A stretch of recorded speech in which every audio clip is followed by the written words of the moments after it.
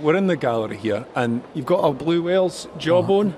It's a skull that looks like the size of a sort of what, like an Audi A3.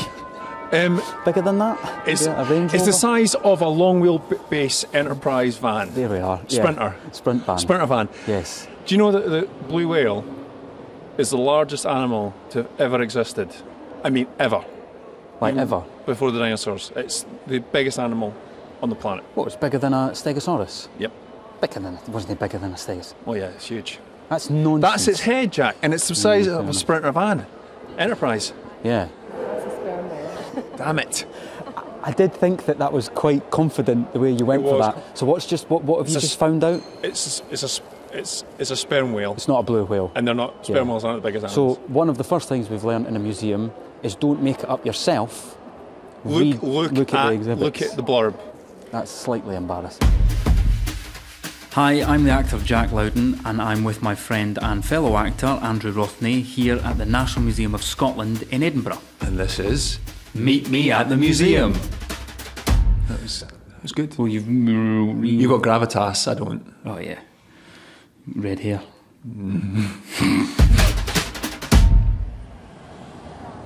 I honestly haven't been this excited for a while. We came to the National Museum of Scotland years ago. Yes, You and I. We've not been in it since. No. That was like six, seven years ago. and we went round the new bit. Yes. The new bit that was tagged on at the end, Yes. which is specifically about Scottish yes, history. yeah. But we've not. No, I've not been in. You've not been here for ages. No. You know, you're you're literally off George IV Bridge and you're smack in the middle of, Of the Robert metropolis. Yeah, Robert Louis Stevenson's old town Yeah. and the university buildings behind. But yeah, that that is one of my favourite things about the museum is the fact that It's so. It's right smack bang in the middle. it's just enormous. There's three big double doors Yeah. at the top of these really, really long steps. They kind of look like ste- the steps at like St Paul's Cathedral. Yeah, yeah. But since the sort of like revamp, they've stuck these side things on that are a little bit more They're rustic. yeah, they're kind of Yeah. metal framed Yeah. with the National Museum of Scotland on top of it, and it's quite futuristic. yes, like it's been made from like leftover girders. The Forth rail bridge. Did you know. design this? I didn't. I think you did. I should have been involved though. Yeah. So we're literally in the bowels Of the. of the big old Victorian Yeah. 1860s original building. There's someone just leaning Yeah. on a exhibit there. Someone, So we're watching a man tie his shoelace next to what looks like A something found sarcophagus. in Tutankhamun's cave. Yeah. So please excuse us. I'm sorry, I'm going to have to say something. No, He eh? will be dealt with. Yeah. and he was never seen again. you know. We should probably just go and check in, Aye. book in. Don't know what you do. Okay, check in. Hello. Hello, Hi there. welcome to the National Museum. Thank you. We have our national art passes. Perfect. So admission is free to all, but with your National Art Pass, you'll get 50% off the paid exhibitions and also discounted entry to our other sites, the National Museums of Flight and Rural Life. Cool. National Museum of Flight. That's in mm-hmm. East Lothian. East, yeah, East Yes, Lothian, I've been yeah. there. Oh, So I could have got money off. Oh, that's annoying. That's annoying. Next time, well, thank you very much. That's amazing. That's great. just head straight up, grab a map, and enjoy your visit. Thank you Thank very you so much. much. Thank you.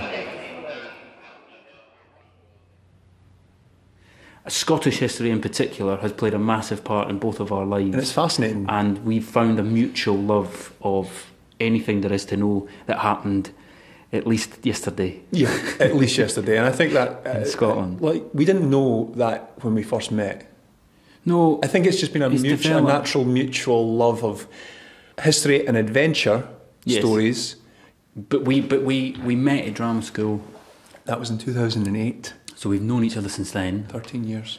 Um, and we met probably lying on our backs doing completely unnecessary breathing exercises. I was fire, you were water, Water, yes. which is sort of like our relationship. yeah. Yes. Anyway. I can't really remember us talking too much about history and museums when we were at drama school, but that's it. Just sort of ran into and developed into that. And you're right. Whenever we, would you'd be away filming, or I'd be away filming, and whenever we found ourselves both in Scotland, Mm-hmm. we wouldn't just meet for a coffee. We would go. Shall we find a windswept castle somewhere? Shall we fight in Flodden Field? Shall we fight in Flodden Field? We actually did at one point. We did do that. We wrestled at Flodden, which was kind of ho- quite homoerotic. Yeah. Yes. You know, it felt right. But that's what we did. Yeah, we, we, we visited Flodden and we thought, you know, you know, to honour that place properly, we should have a fight. So when the farmer wasn't looking, we rolled about in his crops.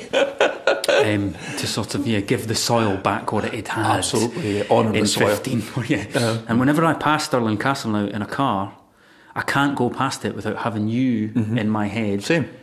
Mouth trumpeting. What?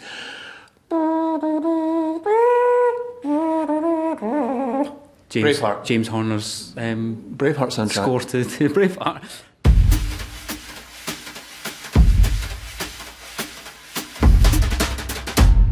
We've got background music.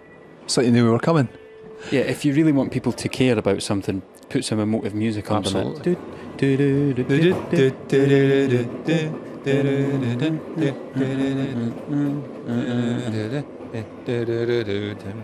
Please bear with us for technical difficulties.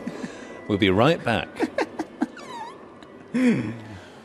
Okay, so Scotland transformed. And that's early 1700s to early 1800s. Good years, I'd Great- say. yeah, I mean, not years. not not for all the battles and that, but Do, do you know, I I became so obsessed with the 1700s in Scotland Mm-hmm. and the different Jacobite rise in 1715, 1745, that you know when people go, is it a respectable time to have a drink? Mm-hmm. I always go, well, have a drink after the first rising. So it's 1715, Mm. it's definitely acceptable. By 1745, you have your second gin and that tonic. is quite mad. Yeah, well, Um, You- but you- good though. you're either into it or you're not. you know, Yeah. like- So, Bonnie Prince Charlie. So this, see this, see this picture up here that you can see above here. Okay. of, of the red coats and the Highlanders. So this is a very famous representation of what happened on the moor at Culloden. It ended 1745 rebellion, and on Uh-huh. one on the right hand side you have the British troops, redcoats, and on the left hand side you have Highlanders Highlanders. and Jacobites. a David Morier, that's his name, painted this on request from the British government. of course, And the name of the painting is an incident in the rebellion of 1745. An incident. and the, the, the Highlanders that are, that are running into the bayonets of the Brits, some of those, the Jacobites that were captured at mm-hmm. Culloden, a lot of them were taken down and kept on transport ships in the Thames. And to make this picture, the, the artist asked for a bunch of them to get pulled out of the jail and used as life models for him Wow. to draw. So you think of how humiliating that must have been yeah. for Highland, who didn't speak any English, all they had was Scots Gaelic.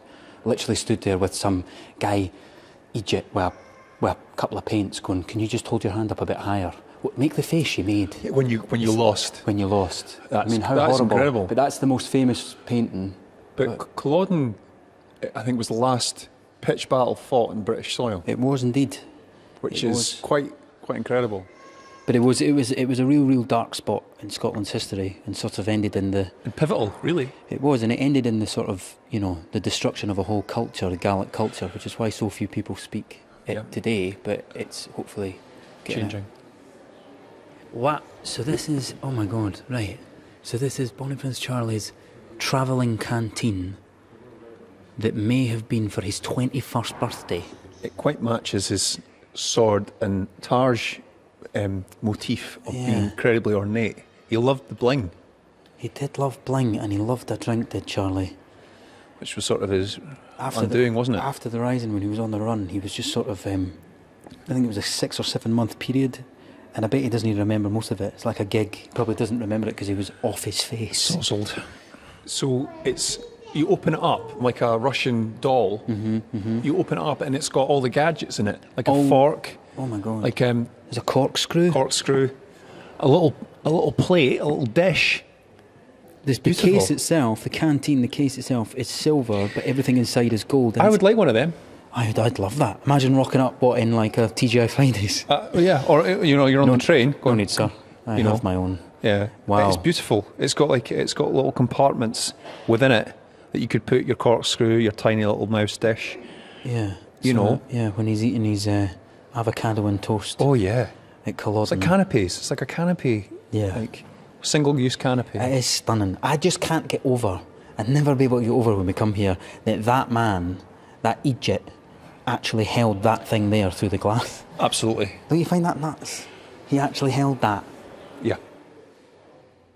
People touched these things, held these things. It's, I think that for me, with Scottish history, or history in general, but you know, Scottish history, that is the thing for me is that uh, these people were only, it was only 350, 400 years ago.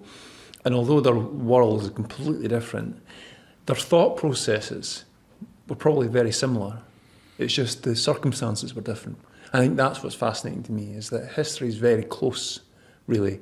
I mean, 300 years is uh, nothing. I mean, even human beings on Earth is a blink of an eye, 100,000 years. You know, that notion of being like a certain amount of handshakes away from history. Yeah. And like, I wonder how many handshakes you and I are actually away from, you know, the Duke of Cumberland, Bonnie Prince Charlie, the guy that took the Appin Stewart. Like, I wonder how many. It could be as little as 13. Yeah. You know, it's not that, it's not that long ago. It's not. There's distance put between us and history, and I think we work in a work in a profession that does that quite a lot, and it makes things a lot sexier. Mm-hmm. You know, speaking speaking for myself, uh, obviously. no, it You get cast for your yeah, but it, but it sort of puts this sort of film, literally this film over these historical events, Mm. and so it is quite. You really have to work hard sometimes, and I love that when you go in a museum to remind yourself that that no, that was a real person. That is literally like your dad or your mum, who died on Culloden Field. Well, we also, though, put on an empathetic head towards those situations. So we, we try and imagine ourselves at Culloden, or we try and imagine what life was like under Mary Queen of Scots rule. You know, Uh, we we're lucky in that regard that we we're paid to think in those terms, but to see it, to, to be that close to these tactile objects, is is it's just really special. And that, there is a kind of reverence in museums. You notice how quiet it is. Hmm. You know, there's an awe of of seeing something that you can't, you would never have thought you would have seen, and things that would surprise you.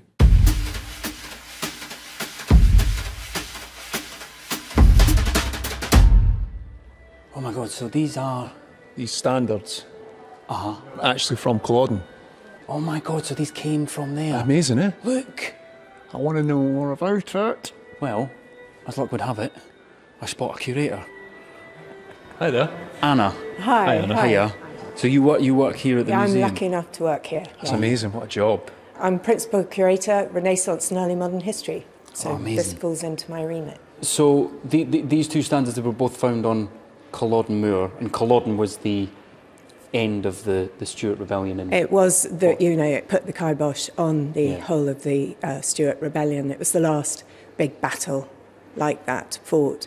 so they were actually found at Culloden. Yeah, no, they were the real thing, and we've got good provenance on them, so we're fairly sure that they're Which is okay. what, what what. So when you say that, what is that? What is the provenance? a traceable history that Right. we can actually it's attested the ownership is attested Mm. right back to where it says it comes from Wow. So what, what what was the last link in the chain where it came where they came from here? this Stuart of Appin flag they were one of the first clans to come out in support of Bonnie Prince Charlie Charles Edward Stuart they were fighting on the right side of the Stuart line and it fell 17 they said number of people picking it off, off the field holding it again killed 17 different people grabbed it at different points. and 17 were killed. But right at the end, seeing the disaster and before everyone fled, um, someone called Donald Livingston picked it up and he realised its significance. He hid it underneath his clothes. And he had been fighting in the Stuart of Ballachulish uh, line, and after the battle, he smuggled it back to Ballachulish and gave it to the father of the man that he had been fighting with, Stuart of Ballachulish. Um, and it remained in their family right through into the 20th century. But what's equally wonderful, I think, is this British flag, the Union Jack, was the victorious flag. And during the 19th century, there was a lot of sort of antiquarian interest in the past. Let's say in the 1820s or so, this flag was sort of refound by an antiquarian called Stuart of Garth. So what he did was to give it to Stuart of Ballachulish, oh my God! Mm. Right. uniting two flags from opposing sides on the one field, and he did it so that they can lie in peace at last. Wow. And I think it's it's quite an emotional Very story. moving. That's yeah. very moving. It's Yeah. incredible the mm-hmm. work that's put into maintain this vital piece of history. They're literally hung on the ceiling opposite each other. And they're big. They're not like how They're you would think of flags. They are. no. I mean, they'd be taller than me if I was to stand uh-huh. by it. And you're and you'd be carrying that. and you'd be Someone but hold can, a pole. Can you imagine that in the Dreich weather? At, Yeah. Well, it was May. I don't know if it was Dreich. Yeah. It'll, it'll be Dreich. Avery Dreich. Okay. Yeah. So, I mean, in some ways, you might say, well, why have we got two enemies facing each other?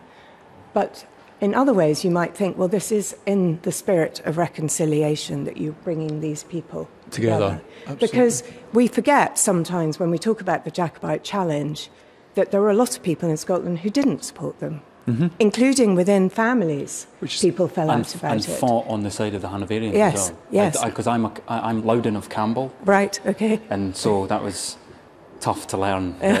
one of what, yeah, I mean, what, one of the reasons that Culloden ended in such a disaster for the Jacobites was because the Campbells through the enclosure, the, Uh-huh. the big walled enclosure to the left flank, was sort of penetrated by I think the Campbells of Argyll, Quick. and it was them that came round in sort of in a pincer movement, and they were one of the fatal blows. So Just there was- it- you're right. It was it was Scots fighting Scots. Mm-hmm. You know, but the, even in, even in the Jacobites, in the Jacobite lines, you had the Manchester Regiment. You had English Yeah. soldiers English fighting on the Jacobite Yeah, side. yeah. I mean, that's nobody wins in, in this situation. Well, I mean, so there are a lot of Jacobites, English Jacobites. Slightly, you wonder if they were in it for the great clothes. Um, yeah. For, for, yeah, for the gear. I mean, For it the did, game. it, it did look Yeah. good. I have to say. This passion for Scottish history, or you know, stoating about castles, we it, we didn't meet the first day at Dramascon going. I, I love the field at Flodden. What? Me too. It, would, it just it became Yeah, quite an organic thing. Are you in? You're in into it. 1700s? Snap. Yeah. It didn't. It, it, it was quite an organic thing, and we've got a. Sh- we, I think we've got a shared love of a lot of things. You know, British comedy, um, physical business. You know, pratfalls, Scottish history, though, and I think the idea of the quest of stories of the hu- the humans behind those stories. I think that's. I think what. I know that you love. But also because because of what you and I do, we, we we're constantly we're, we're sort of exposed to, to to this stuff a lot more than most people are, and so it's very easy to. I find myself thinking, Christ, it's boring these days, isn't it? Mm. Like mm-hmm. our existence. Uh, yeah. but it's a lot easier than what it was. So I I think you're right. It's a sort of like childlike sentimentality mm-hmm. That that we love indulging. I love indulging it, and it doesn't hurt anyone. and then you go to a pub. I want to go up and ask for claret. Yeah. Yeah. No, no. Um, can I have your wine list, please? Do you want a quaich? Yeah, I want a quaich. Actor Jack Lowden was found today with a quake paled in his head. But I do. I want to sort of go. Yeah, like you, you and I say all the time. We want to slam four pieces of silver down on a counter, and flagon of ale. Barkeep, Yeah. finest mead, please. Yeah, I, I sort of, you know, people taking sort of four days to get from London to Edinburgh. It's just why whenever I drive, I go as slow as I can. You know, I used to think, you know, the, the wandering knights or or the, the you know the adventure of of uh, quest going to foreign lands and you know, the Vikings did that and there, there is again a romanticism going ah, how exciting that would have been I mean yeah you were you were killing everyone in sight but you know the details you really think to it and the conditions these people lived in it, it, were, were so extreme and Ah, you'd spend if you could go back in time, you spend fifteen seconds, and you go get out. out. of here. I'm out. as soon as someone yeah handed you the first meal. Yeah, yeah, yeah. yeah. Yeah. What is this mutton? No. Yeah, but- I'm a vegan. Yeah, I'm a vegan. I'm a, uh, Sorry, what is that? Now talk about devil's work.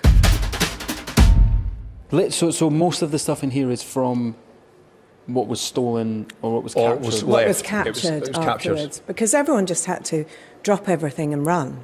Mm-hmm. I mean, Cumberland was out to get yeah. everyone he could. Yeah. Um, you know, the, in the press, words like extirpate the Highlanders, the Highland race, get rid of them, so that they don't sow the seed of future generations Right. of descent. But the, atro- I- the, the, some of the atrocities that were committed up Yeah. there in, in around Inverness immediately after, all the way into Yeah. the Highlands, All the way into are the Highlands. horrific. Yeah. Re- make horrific reading Yeah. for what they did. That was the beginning of the end. Was Culloden? Was the end of the sort of Gaelic culture? and it's fascinating how uh, Culloden had such an impact, and Flodden as well. These are two battles that had huge significance to Scotland, and they were both disasters. Disasters for Scotland. Disasters for Scotland. disaster. It was certainly a disaster for a whole time. load of Scots. At the time. Yeah. Yeah. So um, I think there's something you might be interested in downstairs. Lead I on, think lead we'll on. go down.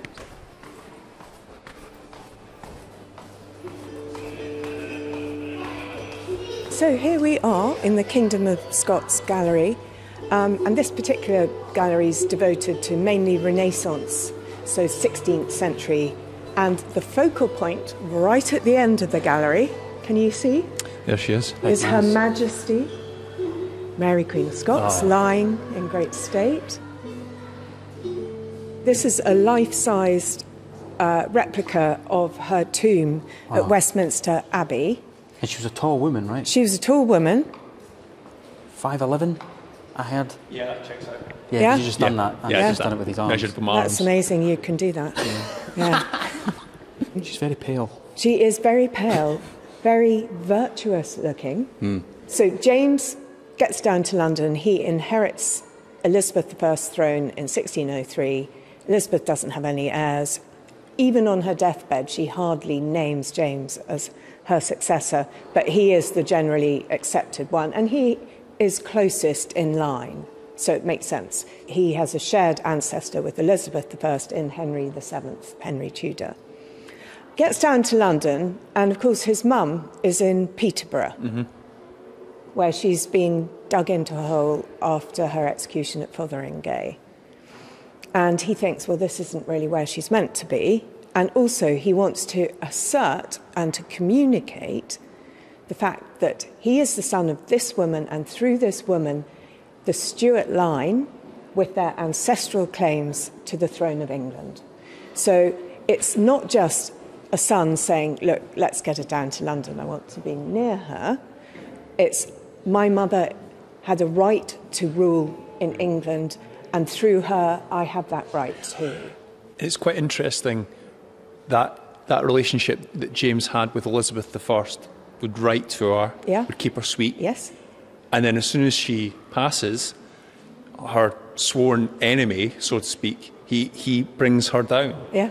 Yeah. as a show of his power. Yeah. And James the sixth slash first, he was that kind of sums him up, really, wasn't it? He was sort of a He was He on was the a ca- fence. he was, a, he was always changing. But I think, do you know what? He's just a poli- he's a canny man. Yeah. He's, he's a politician, and Yeah. He managed to get what he wanted in the end, He which did. was succession to Elizabeth's throne and the placing of a Scottish king On- without war mm-hmm. on the English throne. which is quite It's sort of Quite ironic. something. quite an achievement. Did you know? You probably know. Of course you do. That Andy played.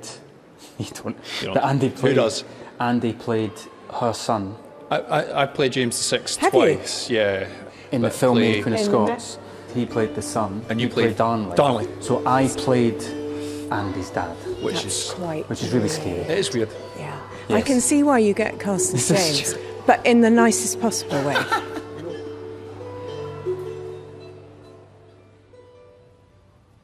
When you played James the 1st Mm-hmm. James the 6th and I played your dad, Lord Henry Darnley. Yeah, Was that the first time we'd worked together since drama school. professionally? Yes. Yeah, what was but, it? But we didn't get any time on set together. No. You you just turned up. Well, I was deep by that point. You were. I'd been blown Spoil- up. Oh, spoiler alert! but to, to get the chance to do that is Hmm. such a is a great privilege, and and we filmed the scenes that I did at Blackness Castle. I, I, and I'm- came that day. Yes, you did. I wasn't. I wasn't filming that day, but I came because I couldn't get over the fact that you and me. It was the perfect culmination of Worlds. our, our, of our world, where you shot Blackness Castle. Where's that? outside? Blackness Castle is close to Bo'ness and it looks onto Fife. But the, the great thing is, the link for me is that my family grew up in the, the little houses that are right beside the castle. Ah. My mum, uh, our two sisters, my gran, my granddad, they, they lived there for years. So there was something really wonderful, you know, being able to come back and do something there. And that uh, Blackness is an amazing castle as And well you were and playing a Stuart King. playing a Stuart King again. and me, I remember stood behind the camera, or roughly just trying to put you off. Yeah, yeah, yeah. My Just not helping in any- Get- just give me in your notes. as Just- well. You look a bit yeah. sad. Yeah, it's a sad scene. But it's- look more sad. You're not going to do it like that, are you? Yeah, But- yeah. You know, It was amazing, and I, I hope we get to do that again. I'd jump at the chance. We have a letter from one of her really staunch supporters from a man actually that was allied to her third husband's family, the Earl of Bothwell's Bothwell. family, in 1568 as Mary is in captivity in Carlisle. But she writes to the staunch supporter, Hepburn of um, Smeaton. And this uh, would have been a treasonous letter to be in possession of if you were in Scotland Yeah, at that course. time that was at that moment the, the Protestant Lords James's party were, were foremost. And you have that letter. the letter's down in Grantham, but we have this voice actor who has um, this wonderful duality of her char- Mary's character in the French and Scottish accents. And we've got a recording of it here. Oh, wow. Yeah. That you can also, anyone can access on the National Museum of Scotland's website. Oh, that's great. Yeah. Hit it, DJ. To our recht traced friend, the Laird of Smeaton. Recht traced friend, we write to you lately an end to our proceeding as than, thanking you aye of your constance and fidelity anent us and our service, whilk ye shall not repent. With God's grace, not doubting but ye will continue therein without fear other of our enemies or tinsel of goodness. For to the ain we shall put order, God willing, to that effect. We are assured she will be offended, yea, and able remove them frae further melling with our affairs. This referring our service to your faithfulness, we commit you to the protection of God Almighty. Mighty. At Carlisle, the 25th of June, 1568. Marie Regina. Wow. Wow. That's incredible. There you are. It's so mad, and it, it, you, you're right. Is that everybody thinks you do think of her speaking with like a, a French accent, Mm. or it's the same with Bonnie Prince Charlie. I mean, Bonnie Prince Charlie, Mm-hmm, he spoke Scots, but with a sort of Italian? Italian-y, Englishy accent. Yeah, yeah. And I mean, what is that? You know, and Scots is such an amazing language in its own, but to hear Mm. Scots in a French, French. accent, Yeah. And those sounds like, you know, France and all that. Yeah. She's got those vowels sounds. It's amazing. But it's the most beautiful Oh, language. I mean. I'm, a luck, I'm lucky that I'm a historian of that period Mm. because I read this and you read the literature and the poetry as well of the period. so And it's really redolent, the sound of it. Because we did a lot of that at the Royal Scottish in Glasgow. We do specifically learn Scots. Scots, aye. we learn Scots. There, was- there was a. Scots translation that we did. Well, we did a speech from from the two Servant of Twa Maesters. Oh, yeah? And I remember a bit of it. He's knackered and he walks to the front of the stage, the servant, and he says, uh, "My een are sair seeking, my feet are sair tramping, and nichty button fair famishing." like it's it is gorgeous. Yeah. Yeah. We, we could stand and speak with you for, for like literally for hours. Yeah. Thank you so much. Well, no, Anna. thank you for coming and having a look at our wonderful things. It's been amazing. Come again.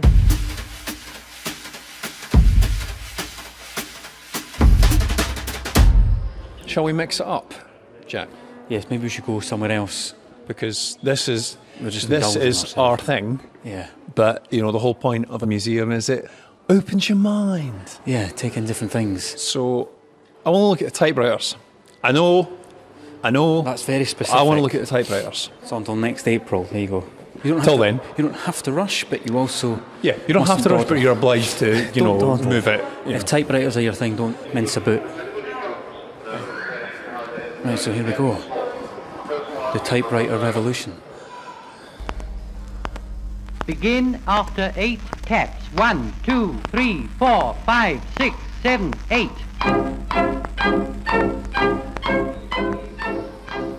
So we're, we're in a room, Full of typewriters through the ages. typewriters through the ages, in, in different glass cases. So I'm guessing this this is the first one we've come across. So is this the earliest one? No, I don't think it's the earliest one because Yeah, that one looks a, a lot more low tech. This is called. So this this is a a- prototype, Wow. 1857. 1857. People were starting to type. Wow, that's incredible. Look, on the top is a disc with A, B, C, D, all through the alphabet and all through 1 to 9 in a circle on top of what looks like a sewing machine. It um, looks like a torture device as well. Yes. yeah. I don't think you're going to get any more stripped back than this with a typewriter. I mean, Don't it's minimalist. Yes, it's, surely this is the very beginning, other than somebody putting, you know, putting it all on your knuckles and Exactly. covering yeah. yourself in ink and batter and paper. And that, you know, two Scottish inventors. Well, as we did invent the world. Well, apparently so, yeah. We did invent the modern world. the modern world. They are beautiful, like they really are. yeah. Filmmakers absolutely love opening films with typewriters. There's probably like 20 or 30 films made that will have opened, their opening shot will be Oh, yeah. something to do with the typewriter. Definitely. There's always, I think in fact it's, I think it's All the President's Men, the very Mm-hmm. opening of All the President's Men, and it is like a super, super, super, super close up of, of one of these levers going smack onto a bit of paper. I mean, that's an extreme, extreme close up. But yeah, The Shining as well. That's Shining, yes, that's right. Pull towards Yeah. that. I've I've been in a film where I've had to do an extreme close up of my finger touching typewriter. Mm. Have- They love. There's a real fascination. Is that the Morrissey? Yeah, yeah. When he starts typing his lyrics. Oh yeah, they Mm. You love good them in in that. film. Cheers, thanks, cheers, mate. Our frame of reference to a typewriter is very close. But you think back to when the first one was being made, there would have been a lot of pushback going, it's the devil's work, you know? Well, it's like, the steam. Eh, it's like the railways. Any sort of They thought technology. It was a big steaming devil. You know, it's, it's always amazing those kind of things is to think of like at the time when that came out that people were like, "Oh, devilry," or "This is too newfangled." No, and that's that's the amazing thing about history is where you're like, just to think of people when the first typewriter came out and going, "What is this devilry?" and the sort of way that we now look at where we we put our noses up now, where where they go, "Oh, they've come out with a tenth iPhone."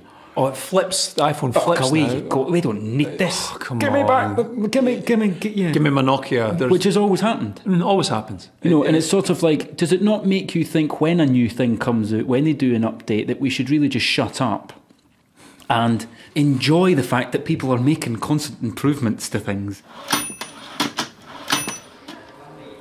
Hello, nice to meet you. Hi, I'm James. James. How you Um, doing? Yeah, good. So you are, are you apparently responsible for this? I am, yes. So I'm James Inglis, and I'm a PhD student at St Andrews, and I'm working on the history of typewriters in Scotland.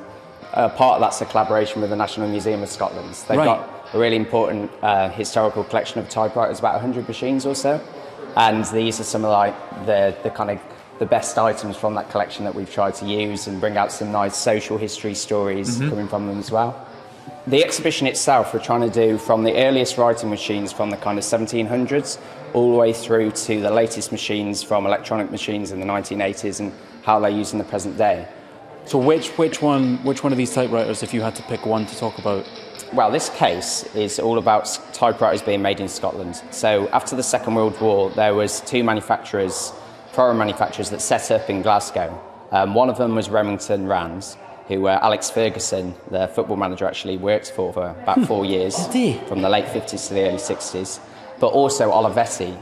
Um, so in this case, we've got a Lettera 22, which is a portable typewriter, and then we've got this Lexikon 80, which is the office typewriter. So yeah, hundreds of thousands of these these made, and as you can see, they're, they're really popular with um, artists and writers. So you can see Leonard Cohen and Sylvia Plath. In fact, there's a um, there's a Leonard Cohen album cover, or it might be the back of the album cover, where you can actually see his girlfriend using one of these typewriters. Wow. So I, I kind of love that connection as well. But if we come to the sort of end right of the exhibition, here we've got an Oliver typewriter in this case. Um, Oh wow, that looks a lot more serious. but as you can see from this image here, this is from the WSPU Typist Office. That's the Women's Social and Political Union. Better known as the suffragettes, the kind of militant branch, the suffrage uh, movement. And um, you can actually see there's two. oh, they're using one of these. examples Of Yeah. course, wow. So it really did offer a different means of employment and financial independence. Yeah, these were being used by uh, the suffragettes to produce kind of promotional pamphlets for, for their campaigns. Uh, and in this case, next to the Oliver typewriter, we've got this. Uh, it's a rotary duplicator. Um, so this you could Photocopier.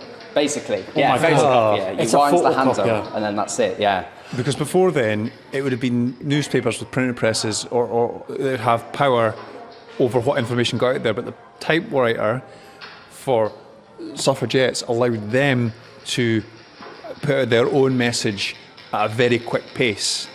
is, and that's why it became so invaluable to their movement. Is Yeah. that right? Yeah, I mean the pace is what like is, is really important. Like you say, this could make say 500 copies from one typewritten stencil. So yeah, it was a very powerful. I mean, they actually there was adverts for it which called it a power in politics in reference Right, right. to its its use by uh, women in the suffrage movement. Carriage return. I love the fact that you've got the constant sound of typing playing through because that is actually one of the best things about typing is the sound, the satisfying ding. Yeah, yeah, I love that you've got that. That'd be good. It's kind of like horses' hooves clip clopping. My heart resides in a typewriter, and I don't have a heart unless there's a typewriter somewhere nearby, with a chair in front of it and some blank sheets of paper. Jack Kerouac, Atop an Underwood, 1941. He actually would not even buy cigarettes if he because people used to rent typewriters back in those days. So if he didn't have the money, he would actually stop smoking. In order to uh, write? just to be able to rent there. I mean, That's it's probably a good thing, wasn't it? I suppose now. Yeah, uh, that thinking is- about it, but back then.